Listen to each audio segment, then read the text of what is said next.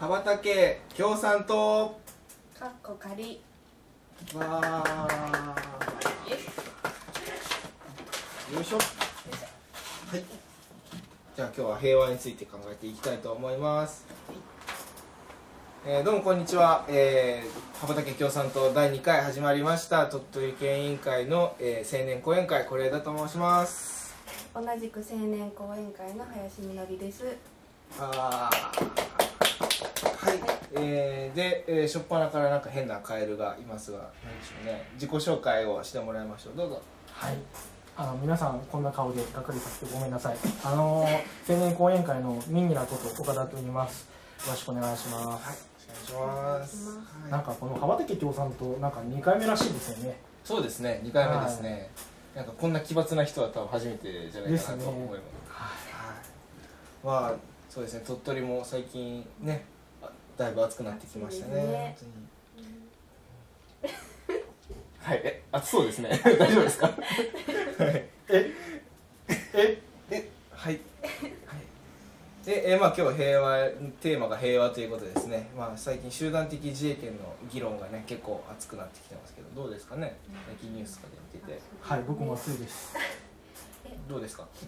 そもそも集団的自衛権って何ですか？ああ集団的自衛権何ああなんでしょう。なんでしょうね。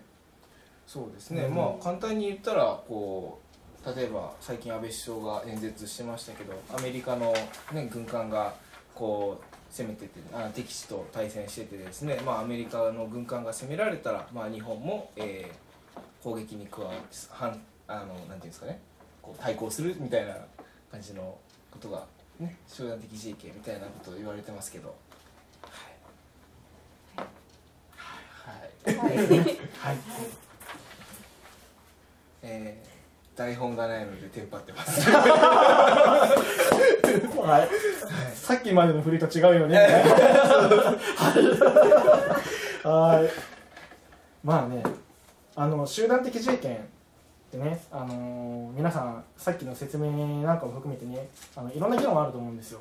多分あのどこかしらの国がね、あのいろいろとこう攻めてきて大変じゃないかと、日本守れないじゃないかみたいな、あの多分よくある議論だと思うんですよね。で。僕たちの国にはねあの、まあ、自衛隊というそのなんて言うんでしょう、まあ、一応のなんか戦力みたいなのがあるんですけどこの自衛隊っていうものに対してあの皆さんどんなあの気持ちというかな。あのお考えをお持ちですか？ねイメージというか。あのどんなイメージをお持ちですか？そうですね自衛隊のイメージとしてはやっぱりその日本の国土防衛ですかね。やっうんぱりそういう任務を担っていると。あとまあこの間東日本大震災のようなうん大きな災害があった時に出動してあの救助活動をするっていうようなイメージですかね。はいって。どうあのですか？今の表情で「はい」みたいな。そうですね、はい。まさに言われた通りです、はい。そうですね。はい。ですね。いやー何をしたらいいんでしょうね。うん。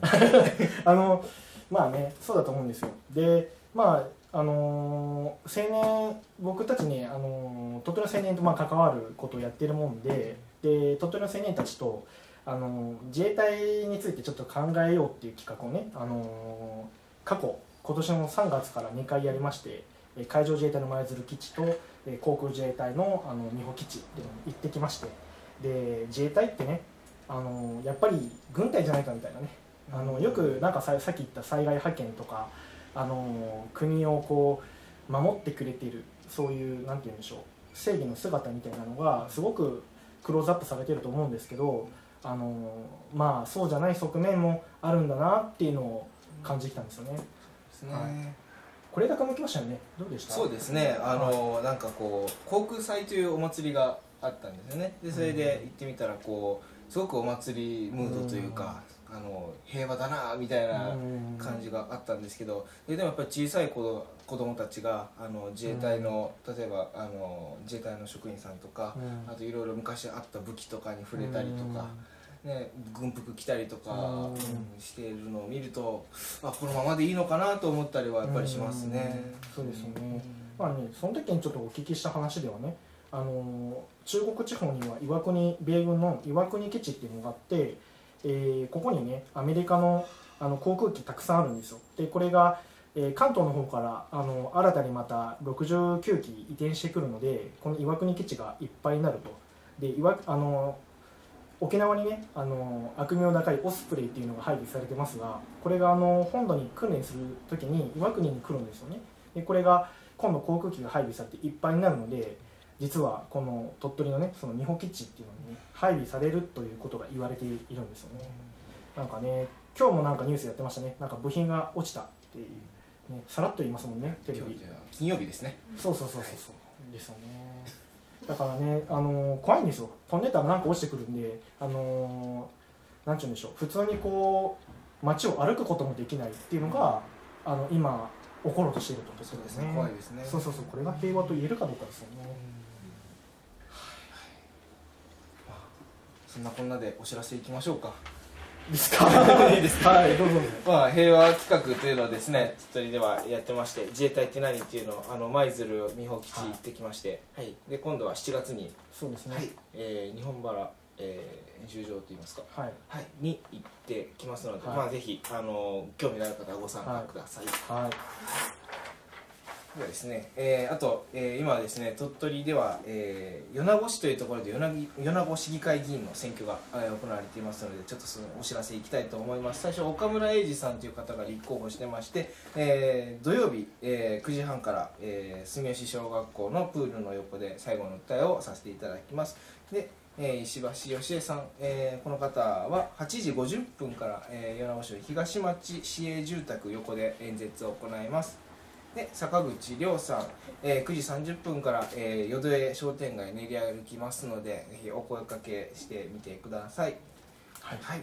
で最後平和行進というのがあるんですね、えーざっくり言います。